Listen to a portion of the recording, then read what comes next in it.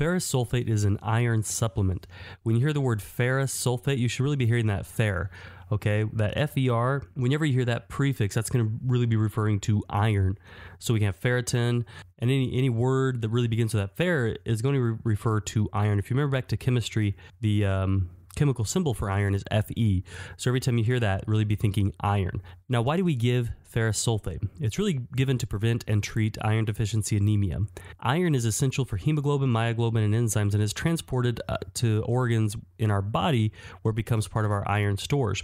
So if you remember hemoglobin, the heme portion of hemoglobin is iron, and hemoglobin is what binds with red blood cells and carries oxygen, delivers oxygen throughout our body.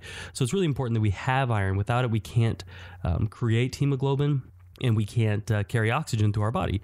So it's an uh, iron supplement, and its therapeutic class is anti anemic.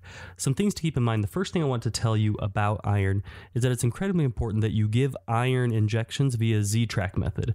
That's where you pull the skin, you pull it down, give the injection, and then let the skin go.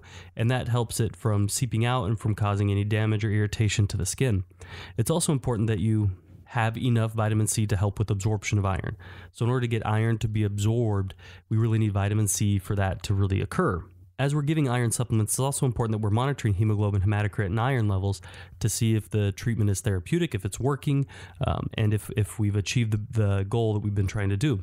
We want to assess nutritional status, bowel function, and it's important to understand that uh, iron may cause skin staining, uh, anaphylaxis, hypotension, seizure, so it can cause a lot of dramatic side effects.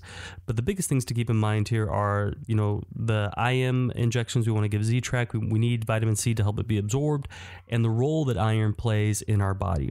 So that is ferrous sulfate. This has been another episode of the nursing.com MedMaster podcast. My name is Jon Haws, RN, CCRN alumnus and I want to give you our free download of the 50 most commonly prescribed medications.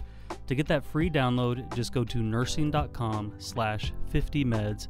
That's 50 nursing.com slash 50 meds.